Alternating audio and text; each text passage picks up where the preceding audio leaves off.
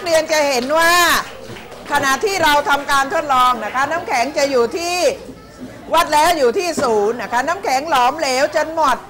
ก็ยังอยู่ที่ศูนย์องศาเซลเซียส เพราะฉะนั้นเราจึงกล่าวว่าน้ำแข็งนั้นหลอมเหลวกลายเป็นกลายเป็นไอเหรอคะนี่น้ำแข็งหลอมเหลวกลายเป็นน้ำก่อนนะคะ จากของแข็งไปเป็นของเหลวก่อนนะคะพอได้รับความร้อนก็จะกลายเป็น ไอนะคะ เพราะฉะนั้นน้ำแข็งนั้นจะอยู่ที่ศูนย์องศาเซลเซียสนะคะ เพราะฉะนั้นนักเรียนจะเห็นว่าน้ำแข็งอยู่ที่ศูนย์องศาเซลเซียสพอได้รับความร้อนจากสิ่งแวดล้อมนะคะ ก็จะหลอมละลายกลายเป็นน้ำอุณหภูมิก็ยังอยู่ที่ศูนย์องศาเซลเซียสนะคะ อันนี้ก็เป็นการแสดงการเปลี่ยนสถานะของน้ำแข็งเมื่อได้รับความร้อนนะคะ เพราะฉะนั้นเมื่อน้ำแข็งได้รับความร้อนนะคะจากสิ่งแวดล้อม น้ำแข็งก็จะหลอมเหลว โดยน้ำแข็งจะหลอมเหลว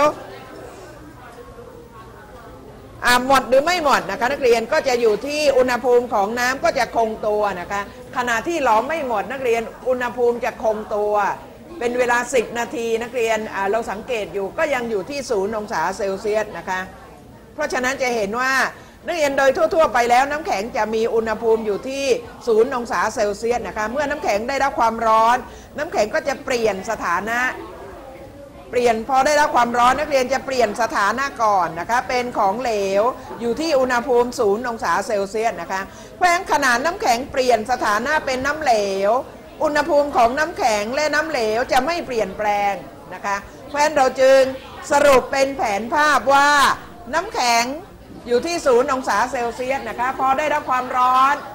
ก็จะเป็นน้ำเหลวนะคะ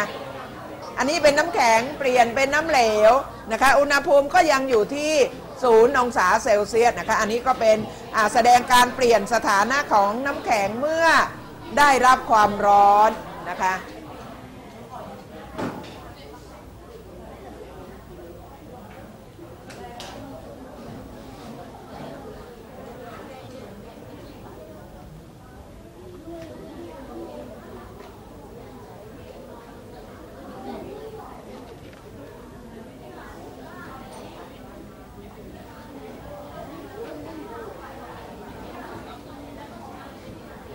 เพราะฉะนั้นจะเห็นว่าเมื่อน้ำแข็งได้รับความร้อนนะคะ จากสิ่งแวดล้อมน้ำแข็งจะหลอมเหลวนะคะ โดยขณะที่น้ำแข็งหลอมเหลวยังไม่หมดนะคะ อุณหภูมิของน้ำก็จะคงตัว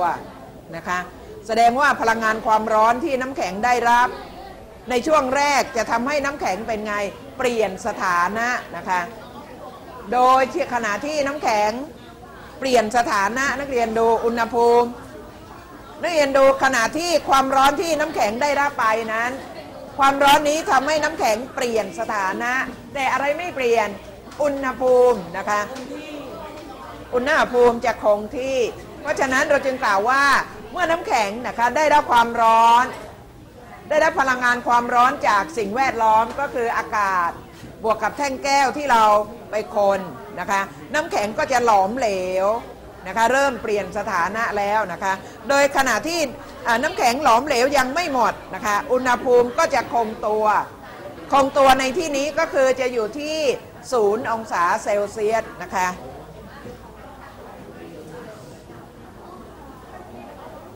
เพราะฉะนั้นนะคะมันอ่าอุณหภูมิจะคงตัว แสดงว่าพลังงานความร้อนน้ำแข็งได้รับในช่วงแรกเป็นไง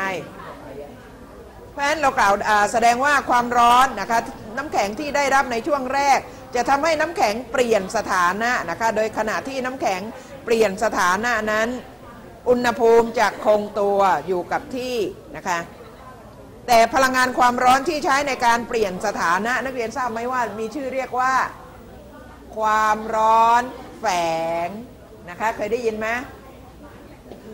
สมัยอยู่ป .5 ป .6 เคยได้ยินไหมความร้อนแฝง คือมันแฝงตัวไว้ นะคะ มองไม่เห็นมันแฝงตัวนะคะ เราเรียกว่าความร้อนแฝงนะคะ เพราะฉะนั้นเมื่อน้ำแข็งได้รับความร้อนนะ ความร้อนจากสิ่งแวดจากไหนก็จากสิ่งแวดล้อม เราไม่ได้จุดตะเกียงเผานะวันนี้ ความร้อนจากสิ่งแวดล้อมเพราะข้างนอกข้างนอกน้ำแข็งเป็นไงอุณหภูมิร้อนกว่านะคะ น้ำแข็งนั้นจะอยู่ที่ศูนย์องศาเซลเซียสนะคะ ในขณะที่น้ำแข็งหลอมเหลวไม่หมดอุณหภูมิจะคงตัว หรือคงที่คงที่ในที่นี้อยู่ที่ศูนย์องศาเซลเซียสนะคะ เพราะฉะนั้นแสดงว่าพลังงานความร้อนที่น้ำแข็งได้รับในช่วงแรกนะคะในช่วงแรกจะทำให้น้ำแข็งเปลี่ยนสถานะนะคะโดยขณะที่น้ำแข็งเปลี่ยนสถานะ ขณะที่น้ำแข็งเปลี่ยนสถานะอุณหภูมิก็จะคงตัวนะคะ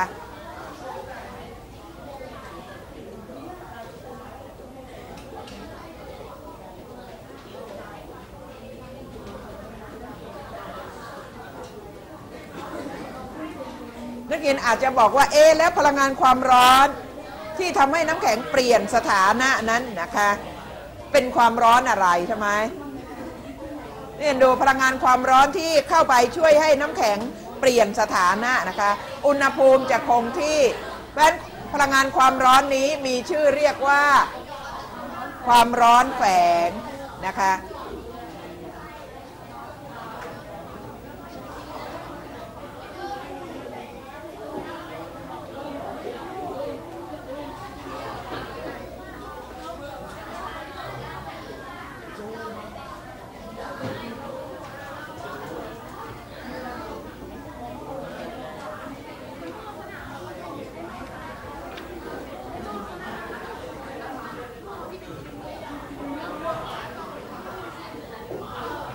เสร็จแล้วนะอ่าเสร็จแล้วดูสไลด์นี้นะคะ ความร้อนแฝงนักเรียนดู พลังงานความร้อนนักเรียนที่ใช้ในการเปลี่ยนสถานะนะคะ เปลี่ยนสถานะเปลี่ยนรูปร่างนั่นเองนะคะ จากน้ำแข็งที่เป็นก้อน กลายเป็นน้ำเหลวนะคะ จากน้ำแข็งที่เป็นก้อนเรากำได้ เป็นน้ำเหลวกำได้ไหมไม่ได้ใช่แล้วนะคะเป็นของเหลว เราเรียกความร้อน แฝงของการหลอมเหลวของน้ำแข็งนะคะ เราเรียกความร้อนแฝงของการหลอมเหลวของน้ำแข็งนะคะ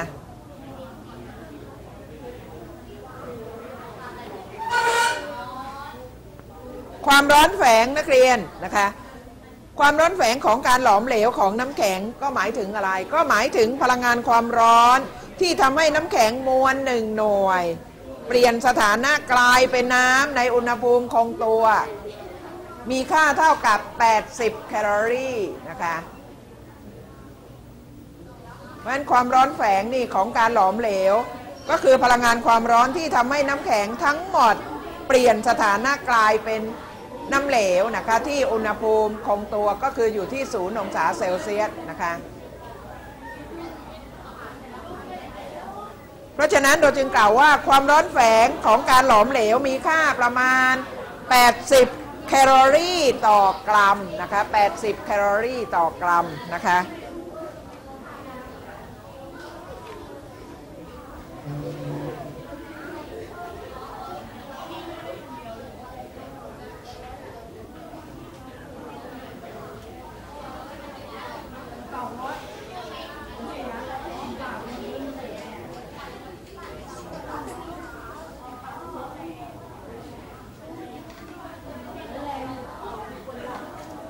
ราะฉะนั้นอันนี้งงไหมนักเรียนพลังงานความร้อนนะคะที่ใช้ในการเปลี่ยนสถานะนะคะน้ำแข็งกลายเป็นน้ำเหลว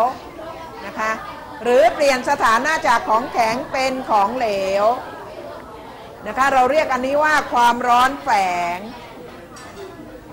นะคะทีนี้เรามาดูความร้อนแฝงของการหลอมเหลวของน้ำแข็ง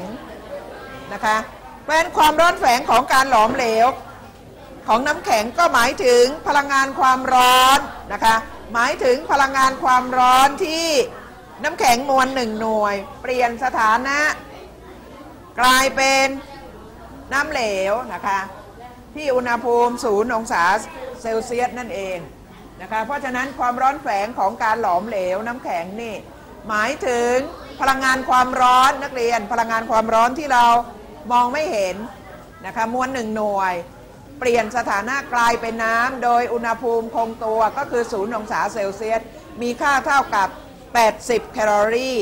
นะคะเพราะฉะนั้นความร้อนแฝงนี่ของการหลอมเหลวก็มีค่าประมาณ 80 แคลอรี่ต่อกรัมนั่นเองนะคะเพราะฉะนั้นถ้าเขาถามว่าความร้อนแฝงของการหลอมเหลวมีค่าเท่าไรเราก็ต้องตอบได้นะ 80 แคลอรี่นะคะต่อกรัม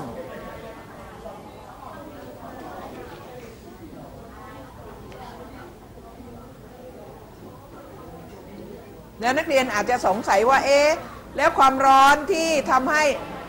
น้ำกลายเป็นไอใช่ไหมเพราะน้ำนักเรียนเวลาเดือด นักเรียนน้ำพอเดือดเราต้มไปเท่าไหร่เท่าไหร่อุณหภูมิเพิ่มไหมไม่เพิ่มนะคะจะอยู่ที่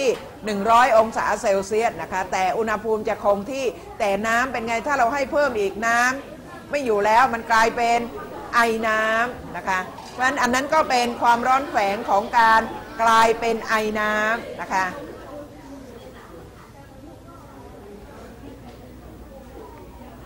แล้วความร้อนแฝงของการกลายเป็นไอน้ำนั้น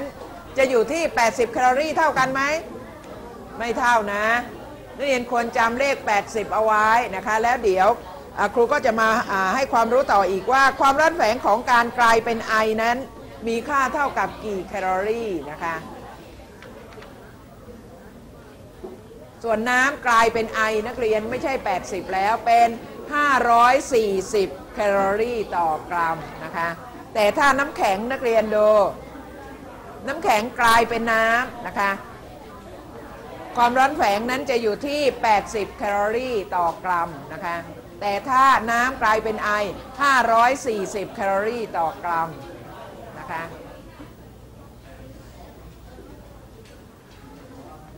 เพราะฉะนั้นอันนี้นักเรียนจำเลข 80 ไว้นะ 80 แคลอรี่นะคะ เพราะฉะนั้นเราจึงกล่าวว่า ความร้อนแฝงของการหลอมเหลวก็หมายถึง หมายถึงพลังงานความร้อนที่ทำให้น้ำแข็งทั้งหมด เปลี่ยนสถานะกลายเป็นน้ำนะคะ โดยอุณหภูมิคงตัวนะคะ เพราะฉะนั้นความร้อนแฝงของการหลอมเหลวนะคะก็หมายถึงพลังงานความร้อนที่ทำให้น้ำแข็งทั้งหมด เปลี่ยนสถานะกลายเป็นน้ำนะคะโดยอุณหภูมิคงตัวนะคะ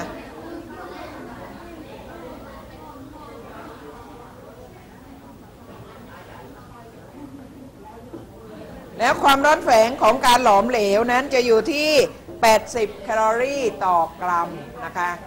เพราะฉะนั้นนักเรียนจะต้องจำตัวเลขอยู่ 2 ตัวด้วยกันนะคะ 80 แคลอรี่ต่อกรัมกับ 540 แคลอรี่ต่อกรัมนะคะ 540 นั้นก็คือน้ำร้อนกลายเป็นไอนะคะน้ำร้อนกลายเป็นไอใช้ความร้อนแฝงของการกลายเป็นไอ540 นะคะ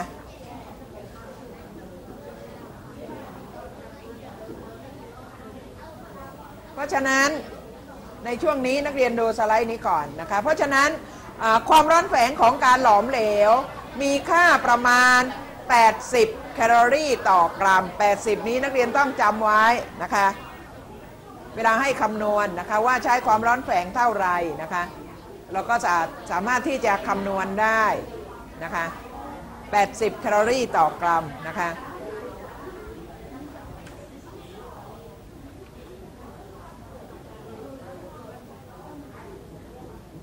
เพราะฉะนั้นหมายความว่าน้ำแข็ง 1 กรัมนะคะนักเรียน เราจะให้ความร้อนเท่าไหร่ถึงน้ำแข็งจะกลายเป็นน้ำหมดจะไม่ต้องให้ 80 แคลอรี่นะคะ 80 แคลอรี่ในการให้ความร้อนนะคะ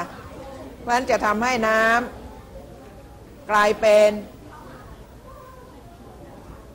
อันน้ำแข็งกลายเป็นน้ำนะคะ ขณะเดียวกัน น้ำกลายเป็นน้ำแข็งก็เหมือนกันนะคะ น้ำกลายเป็นน้ำแข็งต้องดึงความร้อนออก 80 แคลอรี่ต่อกรัมนะคะอ่านักเรียนเดี๋ยวเราพักสักครู่หนึ่งเรามาดูต่อนะคะว่า ขณะที่น้ำนะคะว่าน้ำกลายเป็นไอใช่ไหมน้ำพอเราให้ความร้อนไป นักเรียนน้ำแข็งพอให้ความร้อนไป มันกลายเป็นน้ำเหลว น้ำเหลวเราให้ความร้อนไปกลายเป็นน้ำเดือดนะคะมันก็กลายเป็นไอนะคะต้องใช้พลังงานความร้อน 540 แคลอรี่ต่อกรัมนะคะ เดี๋ยวเราพักสักครู่หนึ่งค่ะ